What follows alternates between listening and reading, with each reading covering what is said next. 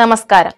Chandrayaan three ബഹിരാകാശ പേടകത്തിന്റെ propulsion module വിജയകരമായി ഭൂമിയുടെ ഭ്രമണപഥത്തിലേക്ക് തിരികെ കൊണ്ടുവന്ന ഐ എസ് ആർഒ ഇതിലൂടെ ചന്ദ്രനിലേക്ക് വസ്തുക്കളെ അയക്കാൻ മാത്രമല്ല അവ വീണ്ടെടുക്കാനും കഴിയുമെന്ന് തെളിയിച്ചിരിക്കുകയാണ് ഇന്ത്യ.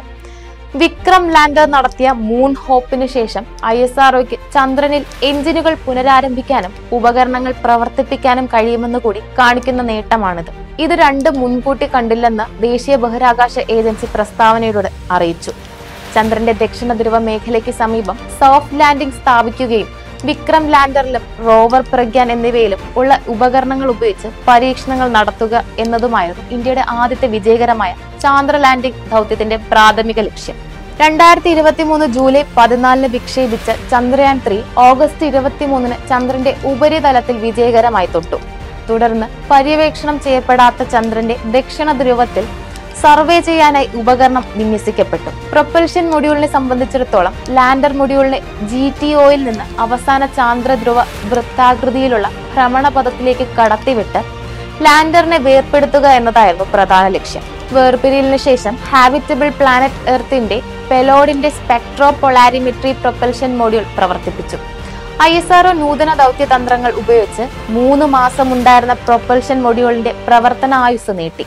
ഭാവിയിൽ നടത്താനിരിക്കുന്ന ചാന്ദ്ര ദൗത്യങ്ങൾക്ക് മൊഡ്യൂളിൽ ശേഷിക്കുന്ന ഇന്ധനം ഉപയോഗിക്കാൻ തീരുമാനിച്ചു.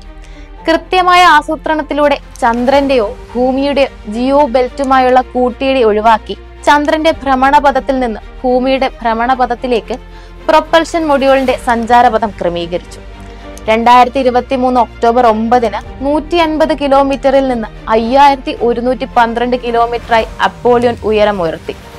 ഭ്രമണപഥത്തിന്റെ കാലയളവ് രണ്ട് പോയിന്റ് ഒന്ന് മണിക്കൂറിൽ നിന്ന് ഏഴ് പോയിന്റ് രണ്ട് മണിക്കൂറായി വർദ്ധിപ്പിച്ചു. ഒക്ടോബർ പതിമൂന്നിന് ട്രാൻസ് എർത്ത് ജംഗ്ഷൻ ആസൂത്രണം നടത്തി.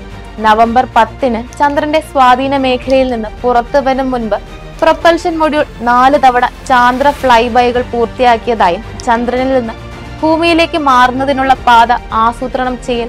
ഇതിനായുള്ള സോഫ്റ്റ്വെയർ മൊഡ്യൂൾ വികസനം ഗ്രാവിറ്റി അസിസ്റ്റഡ് ഫ്ലൈബൈകളുടെ നിർവഹണം അവശിഷ്ടങ്ങൾ സൃഷ്ടിക്കുന്നതിനുള്ള മാനദണ്ഡങ്ങൾ പാലിക്കുന്നതിനായി അനിയന്ത്രിതമായ ക്രാഷിംഗ് ഒഴിവാക്കൽ എന്നിവയാണ് റിട്ടേൺ തന്ത്രങ്ങളിൽ നിന്നുള്ള പ്രധാന ഫലങ്ങൾ ഐ എസ് ആർഒ അധികൃതർ അറിയിച്ചു. നവംബർ പത്തിന് ചന്ദ്രന്റെ സ്വാധീന മേഖലയിൽ നിന്ന് പുറത്തുവരും മുൻപ് പ്രൊപ്പൽഷൻ മൊഡ്യൂൾ നാല് തവണ ചാന്ദ്ര ഫ്ലൈബൈകൾ പൂർത്തിയാക്കിയതായും ചന്ദ്രനിൽ നിന്ന് ഭൂമിയിലേക്ക് മാറുന്നതിനുള്ള പാത ആസൂത്രണം ചെയ്യൽ.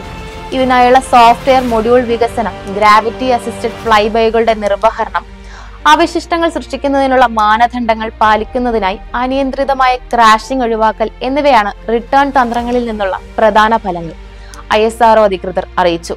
വാർത്തയുടെ നിറം തേടി തനി നിറം.